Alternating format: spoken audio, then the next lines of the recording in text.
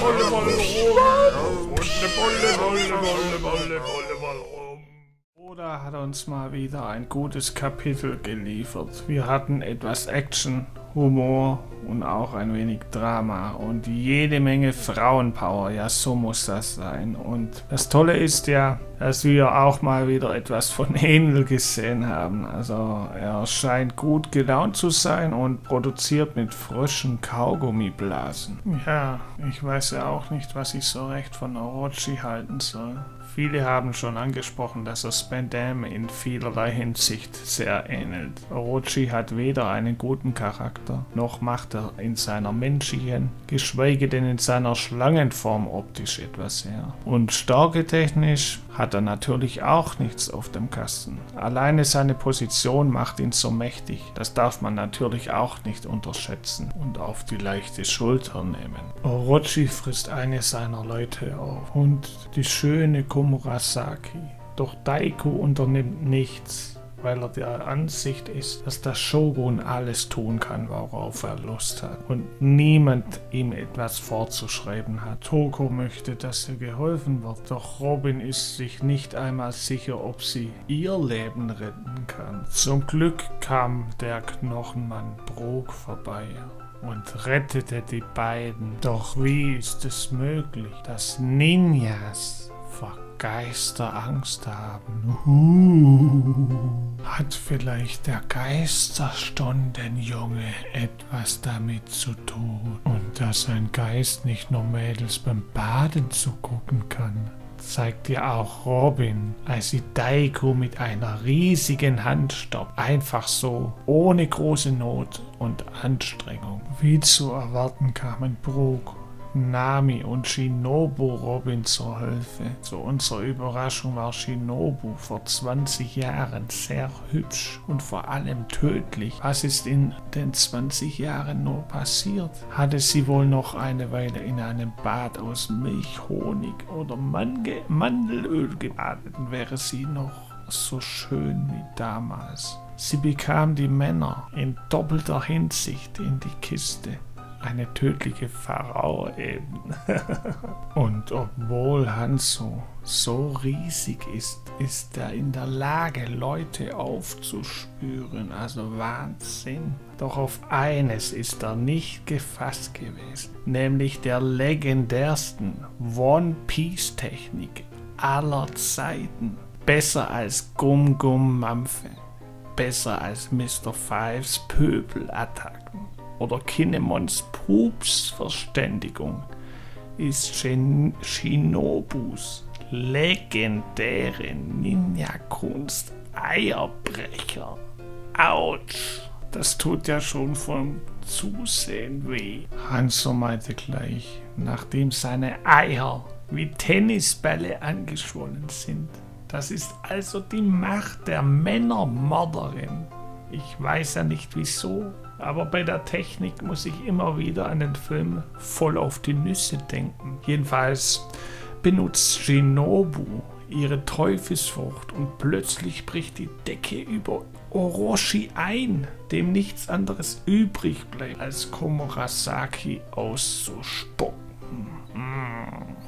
Sie hat wohl nicht gut geschmeckt. Es erweckt erst den Eindruck, als hätte es Komurasaki geschafft, sie sich mutig ihrem Schicksal gestellt hat. Doch dann steht Kiyoshiro vor ihr, zieht blitzschnell sein Schwert und schlitzt sie auf. Alle Beteiligten sind natürlich schockiert, so auch Orochi, doch es ist bereits zu spät. Die Ehre eines Samurais hat für Kiyoshiro noch höheren Stellenwert als die Befehle eines Shogun. Nach seiner Tat betrachtet Kiyoshiro den Zettel des Umsturzes. Doch wie ist er an den Zettel gekommen? Und was steckt noch hinter seiner Tat? Was verschweigt er uns alles? Kiyoshiro ist eine interessante Figur. Sie hat ein cooles Design und vor allem die Elvis-Tolle gefällt mir. Und sie ist auch kein Kanonenfutter wie die ganzen Ninjas von den Oniwa Banushu. Wenn sie so schwach sind, wie sollen sie denn einen Shogun beschützen? Aber vielleicht kommt da noch was. Mich würde es jedenfalls sehr freuen und Bisher habe ich mir echt mehr von der Stärke Wano Kunis erhofft, aber vielleicht waren meine Erwartungen einfach zu hoch. Wie steht ihr dazu? Robin und Otoko werden von einem wutentbrannten Orochi verfolgt, der Toko während ihrem Lachen die Mitschuld an Komurasakis Tod gibt. Also Sympathiepunkte wird Orochi wohl nicht mehr gewinnen. Und Nami springt ein und ruft Zeus, den sie in ihrem Klimataktstock aufbewahrt. Er futtert ein Weathereck und lässt sich somit von Nami kontrollieren. Und dass die beiden ein eingespieltes Team sind, das zeigt Nami mit einer Sanderstorm-Attacke. Sie nimmt Zeus und schleudert ihn mit voller Wucht auf den Boden. Und ein Blitzgewitter entfacht sich. Also wie geil ist das denn? Sie hat auch schon gegen Big Mom einiges gezeigt, aber ist das alles? Reicht das? Ist Zeus Namis neues Power-Up? Was würde passieren, wenn Big Mom stirbt? Wird Zeus dann sterben, wie viele vermuten? Oder ist es möglich, dass er auch ohne Big Mom weiter existiert? Wird sich Zeus in Luft auflösen, wenn er sich zu weit von Big Mom entfernt? Kann Big Mom die Aura von Zeus spüren, da sie ihn erschaffen hat? Fragen über Fragen. Doch niemand Niemand kann uns die Antwort sagen. Ja, vielleicht gibt es ein paar. Glaubt ihr, Zeus ist Namis neues Power-Up? Was haltet ihr von ihm? Er reißt ja Namis Klimataktstock mit und scheint sich ja auch sehr wohl zu fühlen. Man kann ja schlecht Nami erst Zeus geben und dann nimmt man ihr Zeus wieder weg und ersetzt ihn durch einen neuen Klimataktstock oder vielleicht einer Teufelsfrucht. Das würde im Moment auch nicht passen. Ja, Nami vielleicht zu stark machen.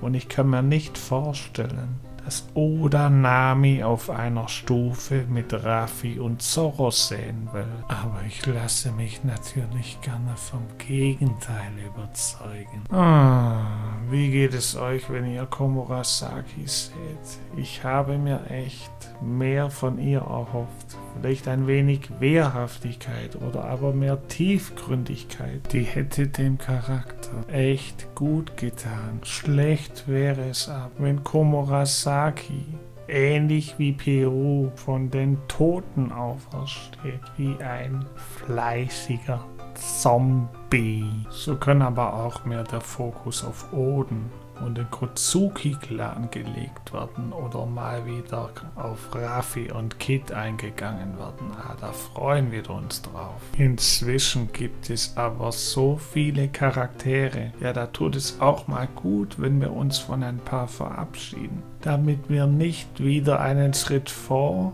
und zwei Schritte zurück machen. So fühlt es sich leider manchmal ein wenig an. Das betrifft vor allem Big Mom. Sie wird vorerst aus dem Spiel genommen, um später ordentlich auf den Putz zu hauen. Es stellt sich mir nur die Frage, ob sie ihr Gedächtnis vollständig zurückerlangt oder nur teilweise. Wenn sie sich nicht mehr an Zeus erinnert, wäre das ja die Chance für Nami, ihn dauerhaft zu behalten. Also wie geil wäre das denn? Aber natürlich nur, falls es möglich ist. Big Mom bekommt ein wenig Shiroku, also eine süßliche Suppe aus roten Bohnen. Also ich habe keine Ahnung, wie das schmeckt, aber bestimmt gut.